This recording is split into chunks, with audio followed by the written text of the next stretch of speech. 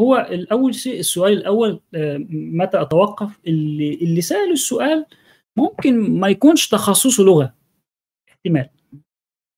آه، أو إن هو لسه في بداية دراسات اللغة. تمام؟ وما بعد اللغة آه، الفكرة إن هو هل أنا بدرس اللغة لي كهدف ولا كأداة؟ هل أنا بستخدم اللغة كأداة ولا كهدف؟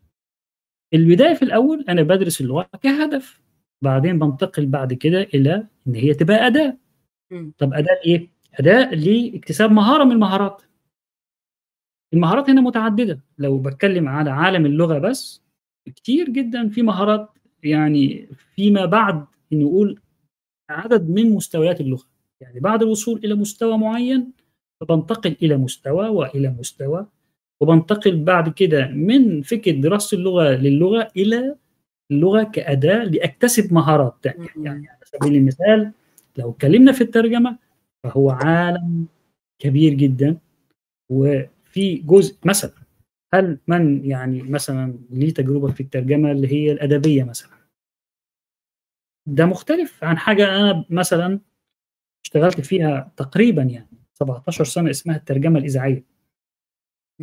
ده عالم يعني أنا بنقول عليه ال- العوالم دي بنقول عليها كأنها عوامل آه، حرفية.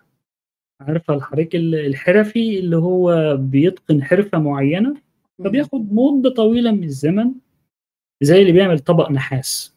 هو ما بيعمله في الأول بطريقة معينة بعد كده بيستمر إلى أن يصل إلى درجة معينة إن آه، المهارة دي هو ده الشخص الوحيد اللي يقدر بيقوم بيها.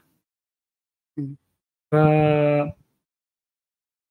أنا بعد عايز أعقب على النقطة دي إن مجالات الترجمة مش مجال واحد آه، زي مثلا ما في مهندس مثلا مدني ومهندس كهرباء ومهندس آه، اتصالات مثلا وزي ما في دكتور باطنة وفي دكتور أسنان وفي دكتور أطفال في مترجم متخصص مثلا في الطب وفي مترجم متخصص في الهندسة ومترجم متخصص في الترجمة الفورية ومترجم متخصص في الأدبيات والكارير بتاع المترجم غير كارير الدارس للغة لأجل إتقان الآداب اللغة.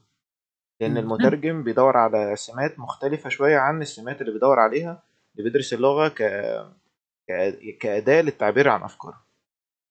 بالظبط. وفي يعني هي الفكرة أنا كمان هل أنا عايز أبقى مترجم؟ مثلا ده سؤال. آه، هل أنا عايز أبقى آه، شخص بيعلم الترجمة؟ حاجة تانية. يعني أنا في من آه، ناس كتير من أصدقائي ممكن يكون مترجم لكن ما يقدرش يعلم الترجمة. ما يقدرش يدرب مترجم مثلا. وعايزين ندخل في السؤال ال... في سؤالين ورا بعض أو ثلاث أسئلة. السؤال الأول حضرتك تخصصك في الجامعة كان إيه؟ أنا كان تخصص اللي هو اللي مكتوب كمان والدقيق هو ما يسمى علوم اللغة والأدب. نعم. علوم اللغة والأدب. بعلوم اللغة والأدب طبعا علوم اللغة والأدب اليابانية. بندرس آه، كل ما هو له علاقة بالأدب وما يسمى علوم اللغة اليابانية. في حاجة فعلا فرع كبير اسمه علوم اللغة. أنا في علم اللغة أكتر من الأدب لكن صراحة درست آه، شعر وأدب وقصة و يعني مثلا على سبيل المثال المسرح الكابوكي مش حاجات اللي هي ممكن نقول عليها اللي هي كلاسيكية قوي آه، إزاي دخلت في موضوع الترجمة؟ موضوع الترجمة لما أنا دخلته ما كانش عن دراسة كان عن آه، تجربة تمام؟ باعتبار أن كان عندي آه، قدر كبير من الشيء اللي أقدر أعتمد عليه في اللغة.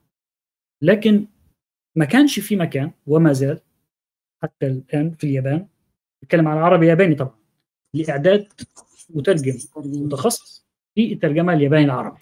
ولا العربي الياباني؟ آه دلوقتي في بعض ال... نقول التجارب يعني لكن الموضوع طبعا مش موجود بفكرة التخصص لكن بدأت آخد بعض النماذج في آه، دراسة اللغة الإنجليزية وبدأت أعمل عليها نوع من القياس يعني. آه، اتنين هي كانت فكرة اجتهاد صراحة في جزء كبير في الأول اللي أنا آه، نص شغل الترجمة بيبقى في حاجة اسمها اللي هي آه، الإعداد.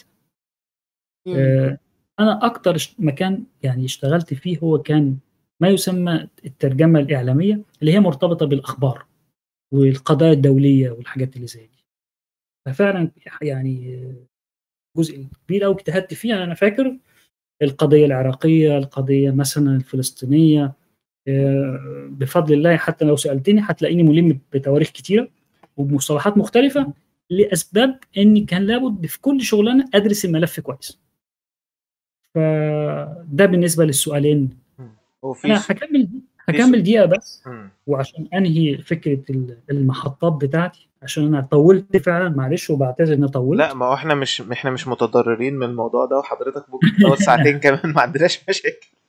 الله يكرمك. عشان برضو اللي يسمعني يقدر يوصل. بعد فكرة التخرج أنا كملت طبعا في الماجستير و... وكان في نفس الجامعة. وكان في تخصص حاجة اسمها الدراسات العلوم الإنسانية وكان شغلي آه، عن حاجة آه، ليها علاقة بعلم اللغة اللي هو بيطلق عليه اللي هي اللسانيات آه، في السيمانتكس في علم المعنى.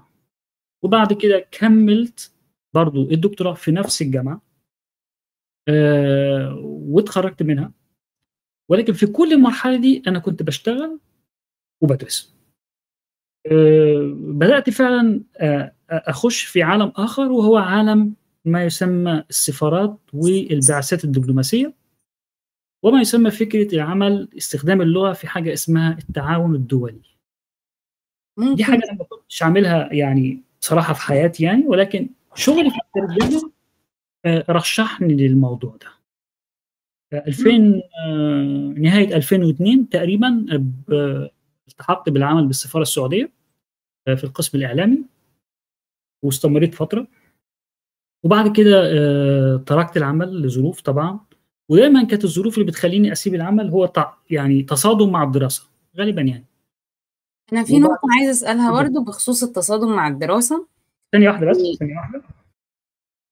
طب إحنا برضو عايزين نقول للناس اللي معانا الأسئلة إن شاء الله هنحاول إن إحنا نجمعها كلها ونقولها في آخر اللقاء. دي حاجة. الحاجة التانية إن اللقاء ده مسجل على الفيسبوك وعلى اليوتيوب وهنقدر إن إحنا نتفرج عليه بعد ما اللقاء ينتهي على طول. آه، في خلال مثلا خمس دقايق ولا حاجة هيكون ال processing بتاع اللقاء آه، اكتمل. آه، برضو عشان أوضح للناس دكتور المؤمن عبد الله كان معانا لمدة ساعة ونص ولسه مكمل معانا شوية كمان. عايز وهيشاركنا في اللقاءات ال- الجاية إن شاء الله. وفي لقاءات تانية هيطلع فيها برضو عشان هو إيه هيدينا يسعدني دلوقتي. والله هناخد منه وعد يعني. خدت من وقتكم كتير لكن يمكن استرسلت شوية ولكن لا ما في سؤال آه، جالي آه، بس قبل السؤال ده عايزة أسأل حاجة تانية. إحنا عارفين في اليابان إن دخول مرحلة البكالوريوس بيعتبروه إنه آخر حاجة صعبة الإنسان بيعملها بيدخل الجامعة بيلعب الأربع سنين ويشترك في. ال 部活 وال サークル يعني النشاطات الأنشطة الطلابية الغناء الكاراتيه الماتشات المسرح وهكذا ويبدأ آه، يدور على يبحث عن رحلة البحث عن عمل وهو في سنة ثالثة يحصل على خطاب التوظيف وهو في سنة رابعة ويطلع من الكلية يبدأ الجد بقى نعم. فأنا طالبة بكالوريوس برضو في اليابان وبدرس تربية فبالنسبة لي إن أنا بقعد أدرس علم نفس ومش عارفة إيه مواد تربوي بالياباني. بالرغم إن معايا منحة بصراحة ولا كنت بقدر ولا أعمل بوكاتسو ولا أشتغل جنب الدراسة يعني نعم. كنت حاسة بضغط فأنا الدكتور أنا